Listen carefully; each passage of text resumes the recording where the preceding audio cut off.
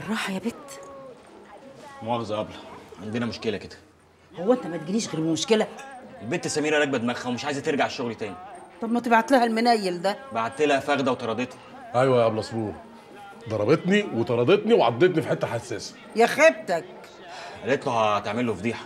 بس إحنا عرفنا إن الراجل اللي هتهرب معاه كتب عليها عشان يطلعوا على بره.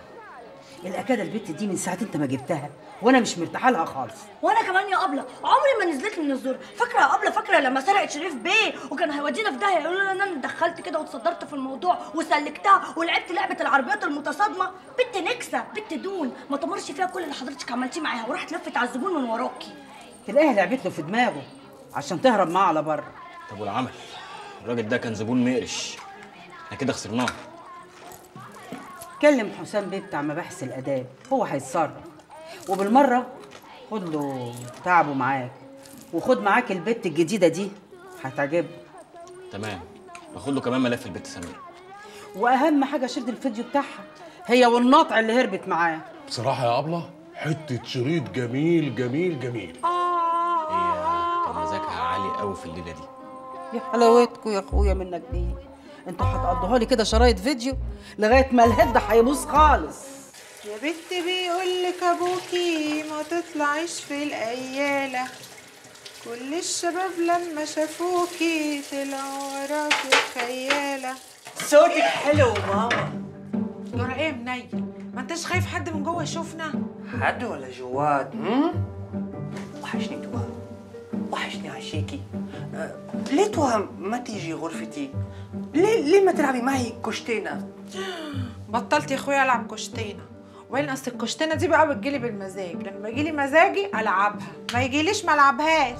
أنت الحيوانه اللي اسمك لامور إيه يا سيدي؟ تدري لو اشوفك هنا مرة ثانية. وش راح أسوي فيك؟ إيه؟ راح اطف وجهك يا خالص! توحة هذا آخر إنذار ليك. تشوفين شغلك مضبوط. طول فترة الدوام ما في شيء إلا عملك. اتفقنا؟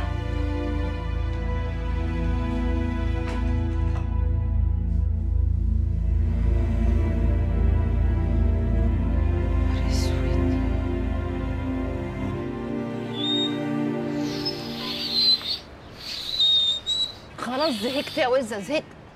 خلاص تلاقيها بتعمل حاجة ولا مشغولة. هتسمع صوت وهتيجي دلوقتي. قولي لي بس. يعني تفتكري طيب هي فهمت الإشارة؟ أيوه أيوه. ده تكون نسيتها. بقول لك إيه بس؟ ها. أنت عملت إيه مع الواد سيد؟ سيد؟ أيوه. عملت إيه معايا يعني؟ أيوه عملت إيه؟ ولا حاجة. خد مني بوسة. بوسة بس؟ أيوه النعمة بوسة. أنا ماليش في الحرام. كله على سنة الله ورسوله. بنت يا شريف. لو النعمة شريف. بس أنتي مش فاهمة. أنا فاهمك يا بنتي يا هبلة عبيطة. قول الست بالنسبة للراجل زي صينية البسبوسة بالقشطة. يتمنى كده يدوقها ولا ياكل منها حتة ويفضل عينه طالع عليها. وأول ما يدوق منها حتة روح تروح لها ويبقى نفسه يدب إيده وياكل نصها. بس لو كل نصها يقرف. ويبقى كده باصص لها من بعيد ومش طايق ويبقى نفسه في حتة ترشي عشان كده يا بت الراجل لما بيبقى حابب واحدة بيدلدل وراها ويجري ويسعى. لكن يا ويلك يا سواد ليلك لو شبع منك.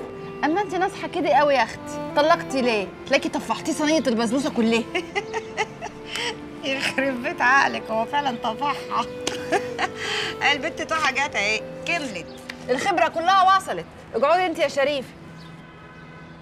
مالك يا بت في إيه؟